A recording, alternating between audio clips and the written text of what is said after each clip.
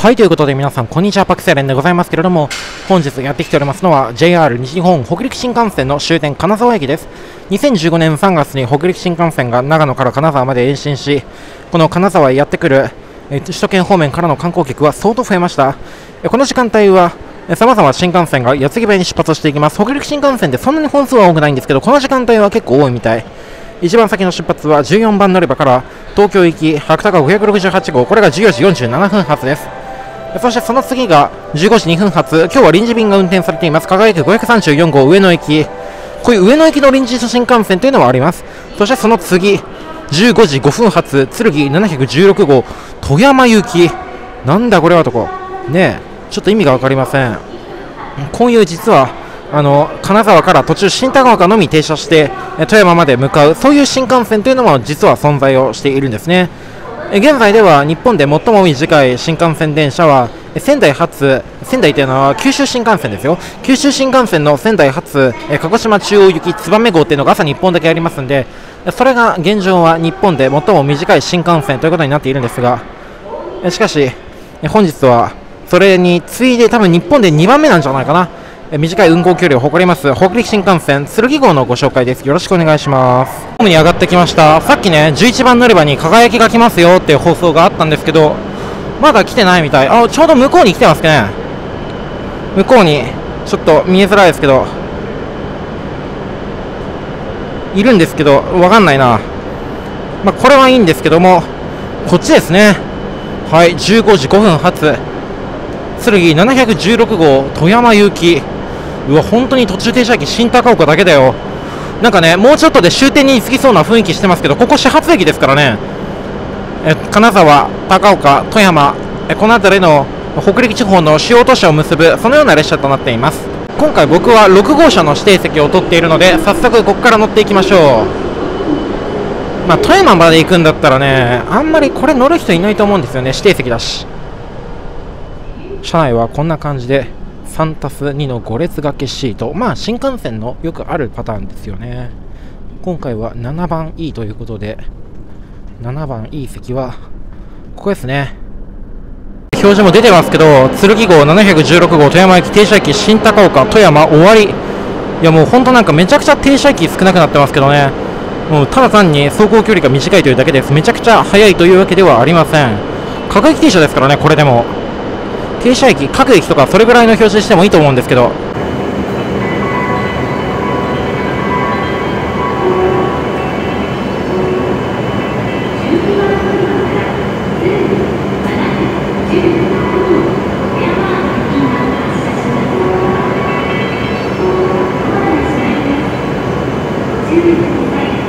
時刻は15時5分になりましてホームドアと連動してこちらが車両側の扉も閉まりました。あまり効かないタイプのこの何ていうのかなこのホームドアの開閉チャイムですね。さあ剣716号富山駅は時刻通り金沢の駅を出発。この先新高岡終点富山の順番に停車をしていきます。ドアロックもされてお向こう側は大阪行きのサンダーバードですね。愛の風富山鉄道は試合は IR 石川鉄道の車両も停車しています。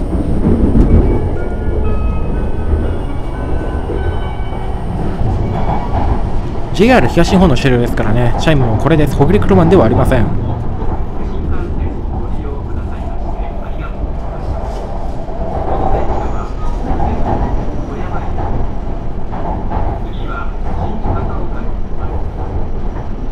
さあ金沢の駅を出発しまして少しずつ列車を加速をしていきます。次の停車駅が新高岡です。でこの鶴木港なんでこんな金沢富山なんていう超短い距離で運転されているのかと言いますと単純にこの金沢富山間の移動の需要が大きいということの他に大阪方面からの需要があるからという理由もあります。この北陸新幹線が開通して以降金沢よりも東側というのは全部直江津まで北陸本線は全て第三セクターに移管され新潟県内が、えー、越後ときめき鉄道そして、えー、富山県内が愛の風富山鉄道石川県内が IR 石川鉄道にそれぞれ移管されました。そして大阪方面からやってきていた特急サンダーバード名古屋方面から来ていた特急白崎号それぞれ全て金沢止まりということになりこの金沢から富山方面魚津方面へのアクセスがかなり悪くなってしまったんですね。なのでえ金沢までサンダーバードや白崎でやってきてそして新幹線に乗り換えて富山の方に行きたいというお客さんのためにこの剣号が運転されているものだろうと思います、まあ、あとは金沢富山間の通勤のお客さんがねこの辺りっていうのは結構多いのでおそらくそういった通勤の需要そういったものをこの剣号は拾っているんだろうと思います。今僕はあの指定席の方に乗ってるんですけれども指定席に意外とねお客さん乗ってるんですよ。多分これもやっぱりただ単に金沢、富山を移動したいという需要だけではなくて、まあ、おそらく新幹線と特急サンダーバードとか白崎を乗り継いで富山の方に行きたいというお客さんが一定数いることの表れなんじゃないかと思うんですよね。うん多分剣号って結構ね自由席の両数が多いので別に指定席なんか取らなくたっていいんですよ。うん、自由席でも全然座れるからね。なんですけれども、でもわざわざそこで指定席を取っているということは、それだけその指定席の需要があるということであり、金沢富山間の移動の需要がどれだけあるのかということをなんとなく伺い知ることができます。北陸新幹線はこんな感じで、もう一応ね、地上区間もあるにはありますが、ただそんなに長くはありません。そろそろ多分栗から峠越えとかになってくるんじゃないかなと思いますけど、どうでしょうか？富山県とそれから石川県の間には栗から峠という非常に険しい峠があってかつてその栗から峠を舞台に源平合戦なども繰り広げられました。栗から峠の戦いを知っている方も結構いるんじゃないかなと思います。日本史の授業でできてきている人もいるんじゃないかなと思いますけれどもそんな栗から峠をこれから新幹線を越えていきます。北陸新幹線の峠というと有名なのは安長原名から軽井沢にかけての薄い峠ですがしかし実はこの辺りにも大きな峠というのが一つ存在しています。旧北陸本線現在の IR 石川鉄道それから愛の風富山鉄道も栗倉駅を境に石川県方面が IR 石川鉄道富山県方面が愛の風富山鉄道という風に会社が変わっています。富山県と石川県の県境をなす栗倉峠を越えてそして今度富山県の砺波平野というところにやってきました。砺波平野といえばチューリップが有名ですよね。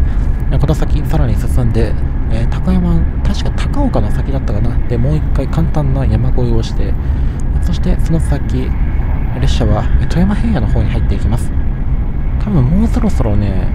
新高岡に着くんじゃないかなと思うんですけどどうでしょうか。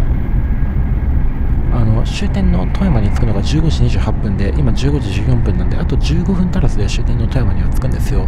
ほんと一瞬ですよね。乗車時間も30分足らずということでさすが日本で2番目に走行距離の短い新幹線電車なだけのことはありますなかなかないですよ、こういうの。まあ、臨時でね、この間、大曲で花火大会があったから、大曲初秋田行きなんていうめちゃくちゃ変な新幹線小町号を運転してましたけど、ああいう臨時便を除けば、の列車が一応日本で2番目に短い新幹線ということになっています。仙台発鹿児島中央行きもそのうち紹介してみたいなとは思うんですけど、なんせあっちの方は乗る機会がもうないですからね、仙台発とかそんなもん。ここでちょうど真横にはこちら北陸自動車道が通っています北陸自動車道ですよね多分ね、えこちらは有名な北陸本線の高速道路バージョンをそろそろ新高岡に着きますこの北陸自動車道も北陸自動車道でこの辺り、ね、この、えー、確か米原からずっと、えー、新潟までだったかな、えー、続いているそのような高速道路になります北陸本線はもともと直江津まででしたが、直江津からさらに先も、あの北陸道に関しては、北陸と言っていいのかよくわからない新潟県の県庁所在地、新潟市内まであの北陸道は続いています。さあ列車はまもなく新高岡に着きます。新高岡はね、あの高岡の市街地からは少しだけ離れていて、高岡駅から上半の線で一駅進んだところにあります。さあいよいよ新高岡の駅に到着この新高岡駅は2面2線の構造ですが、しかし輝き号はほとんどの列車が通過、臨時便の1往復を除き、この新高岡に輝き号は停車しませんので、このようにホーム柵は結構ね、ホームの端っこから離されたところに設けられています。まあ、この辺り一応カーブがきついとはいえ、新幹線もそれなりのスピードで通過していて危ないですからね。この辺りでもしっかり安全対策は忘れません。この新高岡から乗ってくるお客さんもいなくはないと思うんですけど、でもいないよな、多分この時間帯は。さあ、時刻は15時20分。列車は新高岡の駅を出発です。次が終点の富山。今15時20分なんであと8分で到着ということですけれども新高岡富山ってほんと一瞬だからね。あの新鳥栖久留米とかね上の上の東京ほどじゃないですけどしかし新高岡富山間もここも本当に駅間距離は短くなっています。駅の目の前にはイオンモール。すごいね。駅のほぼ直結じゃないですかイオンモール。便利そう。しかもやっぱり駐車場の様子を見るとかなり車が来ているようでこの辺り車社会が相当進んでいるということがこれで分かります。いかに期間距離の短い新高岡富山間といえどしかしこの列車は新幹線ですからそれなりのスピードを出してぶっ飛ばしていきます。200キロちょっとは出てんじゃない ?210、20ぐらいは出てると思います。北陸新幹線の最高時速は260キロですが、基本的に260は遅延しないと出してないですね。大体まあ230キロとか、それぐらいのスピードで運行していることが多いです。遅延すると回復のために260ギリギリまで出すことも多いですが、ただ、本当にもう定時で260キロで運転してる列車ってあんのかな？東海道新幹線ののぞみ64号みたいにめちゃくちゃあのギリギリの終電の列車とかだったらもしかしたらそういうのあるかもしれないですけどね。東京行きの最終輝き518号みたいな。ああいう列車だったらもしかしたら260キロ運転もやってるかもしれないけどただ日中のこういうただの新幹線しかも金沢富山間の超短い区間列車ではおそらくそういったこともやってないんじゃないかなと思います。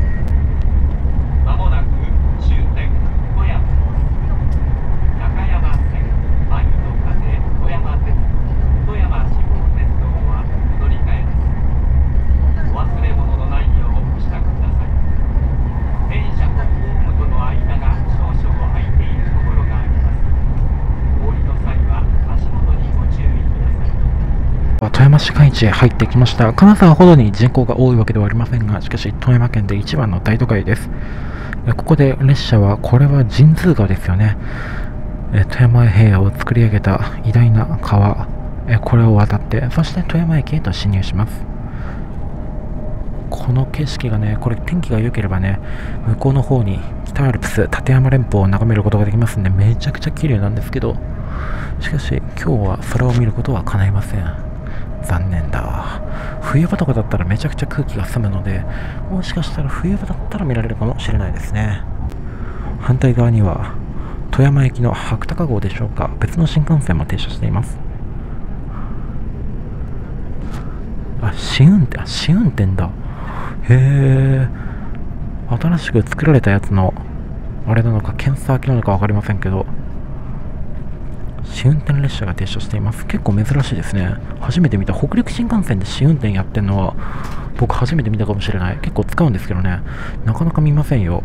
うん。終点の富山駅に到着。列車はこのまま折り返しもう一度剣号としてまた元来た道を戻り金沢へと向かうことになります。時刻通り終点の富山駅に到着です。折り返しねまたあの剣になって金沢に帰ると思ってたら回送列車になるみたいです。失礼しました。ということで今回はね北陸新幹線の末端区間富山金沢間たった2駅間で完結をしてしまう超短い新幹線剣号についてのご紹介でした。白鷹とか輝きとか浅間とか、まあ、そういった東京に乗り入れる列車ばかり皆さんはねあのご存知の方結構多いと思います、まあ、僕も実際にあの浅間とか白鷹とか輝きとかばっか作ってるわけですけど、まあ、皆さんもねぜひこの北陸方面おいでの際には富山金沢間の移動にはこの剣号を使ってみるのもいいんじゃないでしょうか。ね、あの神奈川駅で富山行きっていう表示を見るのなかなか新鮮ですからね。皆さんもぜひ使ってみてください。それでは今回はここまでご視聴くださいましてありがとうございました。